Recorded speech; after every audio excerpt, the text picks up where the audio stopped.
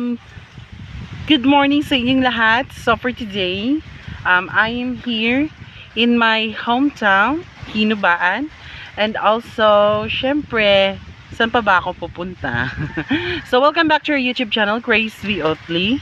And sa ngayon, andito ako. Um, I'm going to prepare myself because for today, we were going to conduct an interview. And, syempre, kasama ko doon yung mga ka-team ko. Si Manang Helgen, Tita Marina, and Rhea Del Carmen. So, anyway, I would like to mega mega shout out sa lahat-lahat po ng supporters ni Ma'am Grace. Especially ng Team Tambayan, Team Happy, Team Loyal, um, Team 1 plus 1 equals 3. Tama ba? Oo. And, napaka-curious lang guys kasi 1 plus 1 equals 3. Paano naging 3? Mm, can you give me um, hint? Bigyan niyo po ako ng clue kung pa, bakit 1 plus 1 equals 3. Hindi ko kasi ma-figure kung ano the exact the answer. Char. And also, sa iba pang mga supporters, um, nakalimutan ko na kasi guys, hindi ko alam kung ano yung mga name ng ng um, um, team nila or yung tinatawag nilang group. Um, I'm very very sorry, hindi ko kayo na recognize and also hindi ko na ano. Kasi pero yun lang. Yung team 1 plus 1 equals 3 na ano ko lang siya na na I remember. Kaya kaya ko siya na na yung anong tawag na doon yung hindi ko makalimutan kasi na-curious ako eh. 1 plus 1 equals 3 eh hindi ko alam kung bakit 3 yung answer doon. So guys um, samahan nyo po ang Grace V. Otley team para maghanap ng pamilya and especially dito din natin matutunghayan yung story nila so sit back and relax because the video will be start So guys, again, andito tayo ngayon sa bahay ni, ni Ate, ano pa Jinilin. Jinilin Salazar. Ilang taon ka nate? 32. 32 years old. Ilan na anak mo? Ah, panganay. Ah, ano trabaho mo? Balay lang. Sa bal Ah, sa una ga ubra eh sa wala pa sang bata ga ubra sa kasambahay. sa din kagaubra na nila. Ah, sa ano. Ilan mo edad na mana Sana all. Ang ay mo ba na ano ubra subong sa imo ba na? Sa ano lamang po na diri dira lang po nila balay. At tupad balay ano lang mo silingan. Pila na edad sa imo ba na? Ano 29 mo 30 plus sa July. Ah, magulang kagali sa iya. Te ano subong iya pangita pangitanan Ga ubra lang jud sa tao. sa Sa ano ba may magpaubra ta sa sa uma. ah, mga like example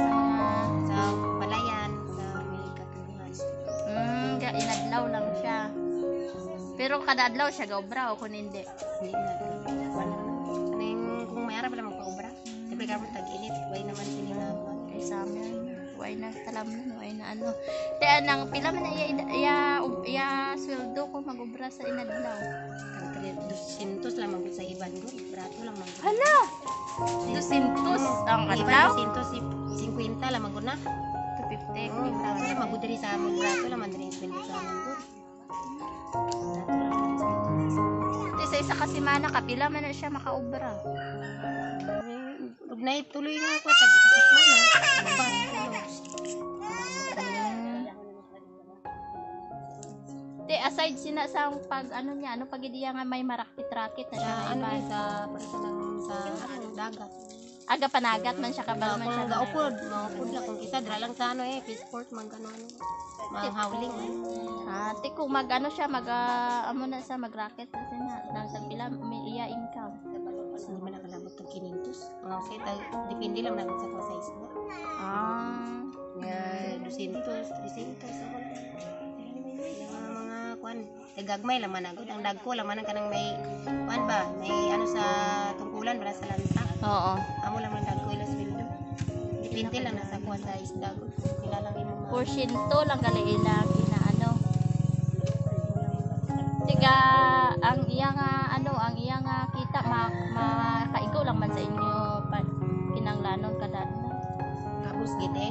Parang presa ng bugas kaya siyempre kaya gabakal ka pa bugas mo mga kailangan sa sulod balay. Salamat yan eh, may nga may ara maghatag-hatag kay presa na karon kamo manghatag. Nalipay pud eh adto gani mi dayon diri bisan wala pa ila sa Jess. Why ka mo ano, wala ka mo umanga gatamnom ka mo Napod mais. kamuti kag balangoy pero gamay lang man kay gina gitubo naman guna diha. Mm. Gamay lang susway kay kalabot tunga sa ektarya namon gid tamanan sila. Ang inyo ginadaduta. Hindi ning ko lang man. Ano lang ba ya? Eh kay may mga Ah, kami mga tagiya daw bali ga star lang kamo pares man sa amo ni star. Amo lang man gud na gud kay tanan nga yo ta diri may mga tag-iya gud na. Mm. Di subo ka imo ba na may ubra, imo ba na subo. Yo bra ni. Kaya mo na gani. Eh manalipay kay ko nga may ano man pero kay siyempre wala gid sang nagbugas way gid pa nang ulan mag-iskon mama gani. Tiga pa na no maka mga utang. Oo ni kautan gani mo kay isiling na ko makadto pud to sa baba makadalagi mo pan utan. Na may utan. Di makaano, makaano ginayang utan niya kay Kailangan na iutan ko kay kung wala ka ibakal sa sudan niya mga karne. Mudli manayam niya po na. Gani man. Makuha ko ibakal kan. Sudan. Ang usay wala man kay ibakal og sudan. Mahal pa naman sa Ah, way gid ako sanay ra man kong kaon og utan, di man ko ganan diri mo kaon utan. Sanay ra man ko magkaon og utan.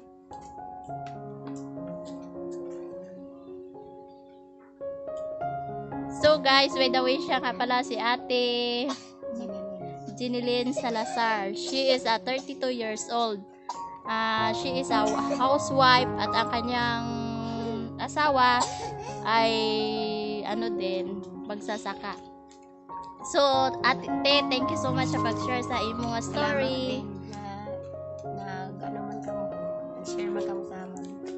Thank you so much. God bless you. Napakaganda, ma-refresh kapag sa tabing dagat.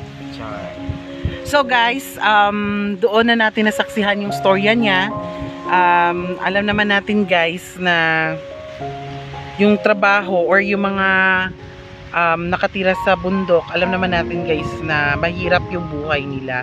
And especially, um, yung hanap buhay nila ay sakto lang talaga para maiahon nila or makasurvive sila araw-araw. And also guys, makikita natin guys na um, malayo sila sa um, yung pwede nilang pagbibilhan ng or ng pangangailangan nila sa buhay. And napakahirap ng sitwasyon nila. And also, alam naman natin guys na kapag yung mga mahi kapag mahirap yung tao, syempre, um, nakita din natin kung ano ang mga magagawa nila upang labanan, di ba guys?